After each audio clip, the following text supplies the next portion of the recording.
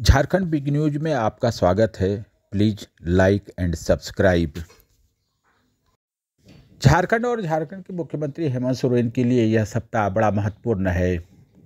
15 नवंबर को झारखंड अपना स्थापना दिवस मना रहा है।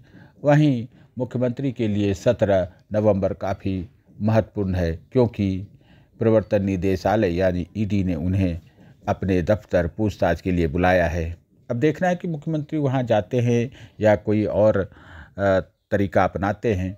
वैसे अभी इस पर बहुत कुछ नहीं कहा जा सकता। इधर सरकार एक से एक निर्णय ले रही है। 1932 आधारित स्थानीय नीति के संबंध में उन्होंने जो विधेयक पारित करवाया है, अब इसके माध्यम से भाजपा नेतृत्व वाली केंद्र सरकार पर हमला बोला जा रहा है। इधर मुख्यमंत्री सरकार की योजनाओं को लागू करने के लिए तरह तरह के कार्यक्रम कर रहे हैं।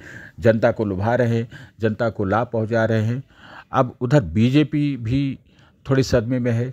1932 का कार्ड जो मुख्यमंत्री ने खेला, इसका क्या नफ़ा नुकसान होगा उसे समझ में नहीं आ रहा लेकिन फ़िलहाल वह मुख्यमंत्री के चौके छक्के को देख रही है।